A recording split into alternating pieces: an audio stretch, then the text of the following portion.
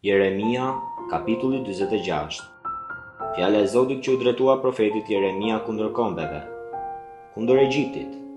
Për sa i përket ushtrisë së faraonit Neko, mbretit të Egjiptit, që ishte pranë lumit Eufrat në Karkemish dhe që Nebukadnesari, mbret i Babilonisë, e mundi vitin e katërt të Jojakimit, birit të Josias, mbret i Judës.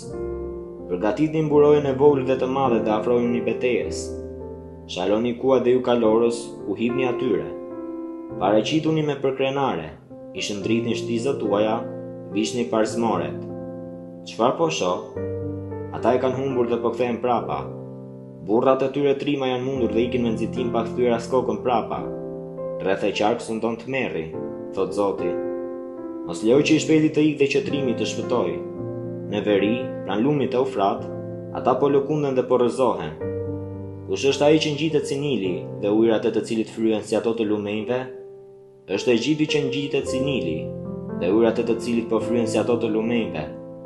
Ai thotë, do të dal, do të mbuloj tokën dhe do të shkatërroj qytetin dhe banorët e tij. Ngarkohuni, o kuaj, dhe përparoni me rrëmbim, o qerre, le të dalin përpara burra trima, ata të Etiopisë dhe të Putit, që mbajnë mburojën dhe ata të Ludit, që përdorin dhe shtrijnë harkun. Kjo ditë për Zotin, Për Zotin e ushtrive, është ditë hakmarrjeje, për t'u hakmarrë me armiqtë e tij. Shpata do të shfarosë, do të ngopet dhe do të dehet me gjakun e tyre, sepse Zoti, Zoti i ushtrive, bën një flijim në vendin e veriut, pranë lumit Eufrat.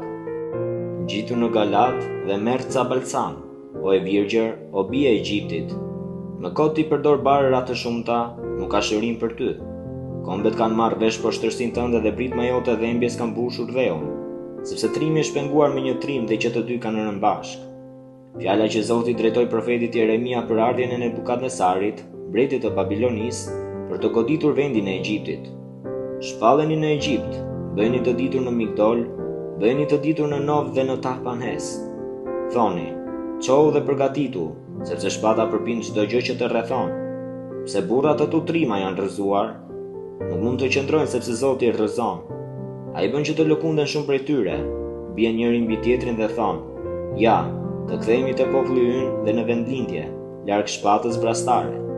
Atje ata bërtasin, Faraoni, mbreti i Egjiptit, nuk është veçse një zhurmë e madhe, që ka lënë të kalojë koha e caktuar.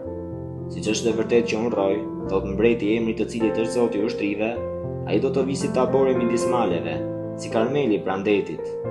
Përgatit gjërat e nevojshme për robërinë, O bijë që banon në Egjipt, sepse Nofi do të bëhet një shkretëtirë dhe do të digjet.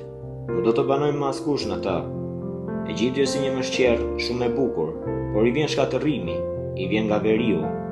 Edhe mercenarët e tij që janë në mes të tij janë si viça për majmëri. Edhe ata e kanë kthyer kurrizin, ikin bashkë. Nuk qëndrojnë, sepse ka zbritur mbi ta dita e fatkeqësisë së tyre, koha e ndëshkimit të tyre. Zëri i tij lëviz si një gjarpër, sepse ata përparojnë me një ushtri dhe dalin kundër saj me sëpata si shumë druvarë. Ata do të rrëzojnë pyllin e saj, thotë Zoti. Megjithëse është i padepërtueshëm, sepse janë më të shumtë se karkalecat, nuk numërohen dot. Bija e Egjiptit do të mbulohet me turp, do të jepet në dorë të popullit të veriut.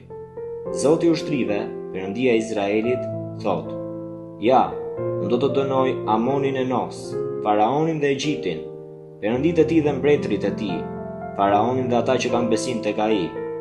Do t'i jap në dorë të atyre që kërkojnë jetën e tyre, në dorë të Nebukadnetsarit, mbretit të Babilonisë, dhe në dorë të shërbëtorëve të tij. Por mbas kësaj do të banohet si në të kaluarën. thotë Zoti, por ti mos u tremb, o shërbëtori im Jakob, mos u trondit, o Izrael, sepse ja, unë do të të shpëtoj ty prej së largu dhe pasardhësit e tu nga toka e robërisë së tyre. Jakobi do të kthehet, nuk do t'i bien në qafë më dhe do të jetë i qetë dhe askush nuk do ta trembë më. Mos u tremb, o Jakob, shërbëtori im, thotë Zoti, sepse unë jam me ty, Do të asgjësoj tërë kombet midis të cilëve të kam shpërndarë, por nuk do të të zhduk ty. Do të të ndëshkoj me një masë të drejtë dhe nuk do të të lë fare pa dënuar.